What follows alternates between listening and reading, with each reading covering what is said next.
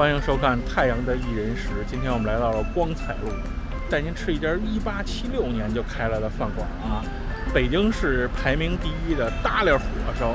你看，中华老字号始创于1876年，门框胡同大列火烧瑞宾楼，对吧？咱们今天去尝一尝吧，Let's go！位于大石栏门框胡同啊，这个就是烂蒜肥肠嘛。我这肥肠块可够大。然后中间处理的也还行吧，都是那个东西，烂蒜肥肠啊，块儿还挺大，尝一尝。我点了一个热菜，一个凉菜，六两大列火烧。其实我不想点六两，但是没办法，它这二两起点，我有三种馅儿非常感兴趣，蒜味儿还挺浓，这个烂蒜肥肠，但是有醋味儿，醋味儿也挺香的。然后这儿基本上看吃饭的啊。都是老北京，没有什么年纪太小的。然后所有的大列火都是现包现烙。不过它跟金谷园一样，就是卖的最火的馅儿可以点一两，其他的都得二两起。这是扁豆馅儿的啊，然后一两仨猪肉扁豆，对吧？看着好实啊，这一条，你看，从这儿就能看见，馅儿都已经露出来了。我还滴油呢，看见吗？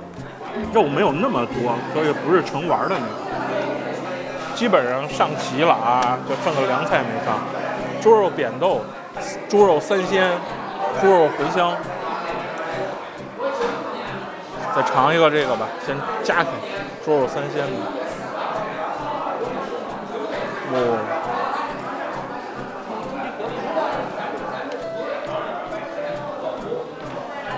这肉馅儿。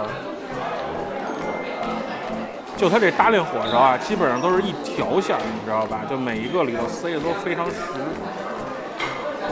所以基本上看着还挺好的。不知道这个是啥？有葱，有肉馅儿，剩下是啥不知道。三鲜，可能可能还有鸡蛋吧？哎呦，馅儿掉出来，馅儿掉出来正好看看。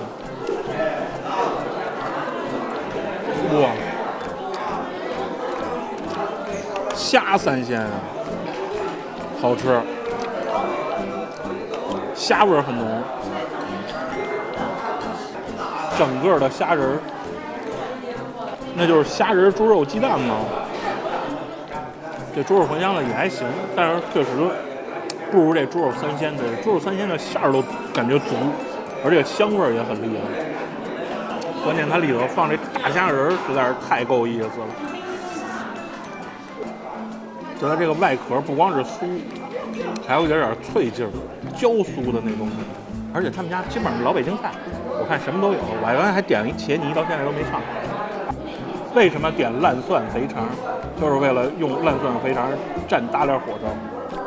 就跟这个猪肉三鲜的一比啊，我点的另外两个馅儿确实就没那么惊艳了。其实我自己根本吃不了六两。我觉得我能吃三两差不多，但是他不卖。哎，谢谢谢谢，没事没事。我把这给你撤了。哎哎哎。需要什么您说。拌茄泥。我以为是蒜拌的呢，没想到是麻酱拌的。尝一尝吧，这个好久没吃了，不知道跟家里比怎么样。你看这茄子炖的巨烂。然后麻酱的香味加上一点点醋香味，哇！而且是凉的，你知道吗？吃起来巨爽，太爽了这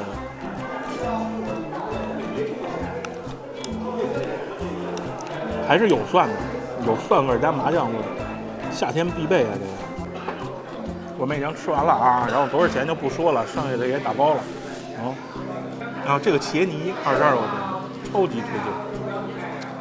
因为夏天嘛，这个又凉快，吃起来有麻酱的香味儿，又有蒜香味儿，加上那个非常滑爽的蒸透的茄子，巨好吃。大列火烧不愧是北京排名第一的大列火烧，确实有两把刷子。当然，只限于它这个三鲜馅啊，其他馅相对来说比较一般，也没有什么特色。但是这三鲜馅可是真厉害啊！十四块钱一两，我觉得有机会的话还是值得来吃一试。虽然是老店啊，但是这家干净卫生，为啥呢？你看，对吧？